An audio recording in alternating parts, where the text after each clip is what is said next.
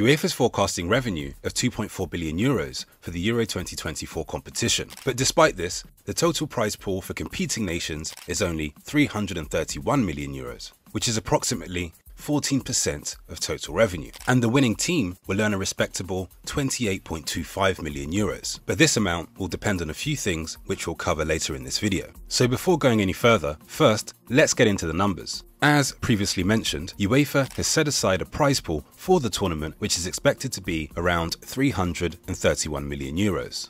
This is less than the previous edition, but as shown here, still significant relative to 2016 and 2012. Every team participating in the tournament will receive a base fee of 9.25 million euros just for qualifying. This ensures that teams that don't make it past the group stages still benefit financially. But the real money starts flowing in with each step forward in the competition. So let's break it down round by round.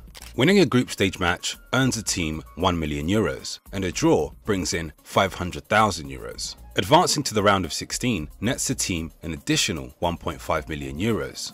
Reaching the quarterfinals brings in another 2.5 million euros and making it to the semi-final adds a further 4 million euros to the pots. Now let's talk about the big money, the final itself. The runners-up won't leave empty-handed, they'll earn a substantial 5 million euros. And the champions, the team that lifts the trophy, walks away with an incredible 8 million euros.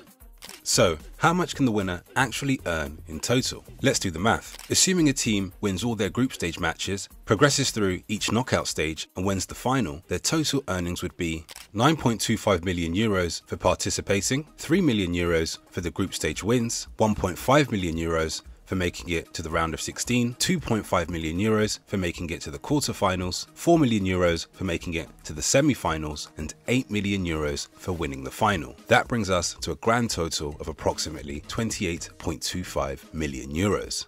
But wait, there's more. The financial benefits for the winning team extend beyond just the prize money. Victory in the Euros can boost a nation's footballing reputation, leading to increased sponsorship deals, higher merchandise sales, and a surge in supports. So while the glory of lifting the Euro trophy is priceless, the financial rewards are certainly substantial. Now you're probably wondering what happens to the rest of the money UEFA generates. Well, that's a topic for another video, which I'll be dropping shortly. But what I can say here is that some of the funds are spent on grassroots football development, approximately 935 million euros.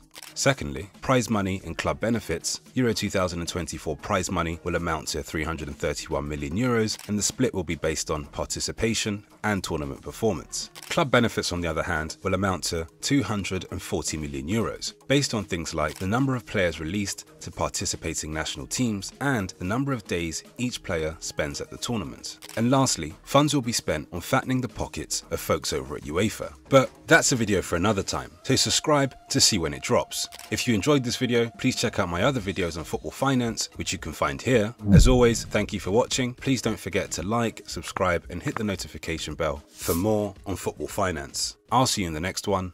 Peace.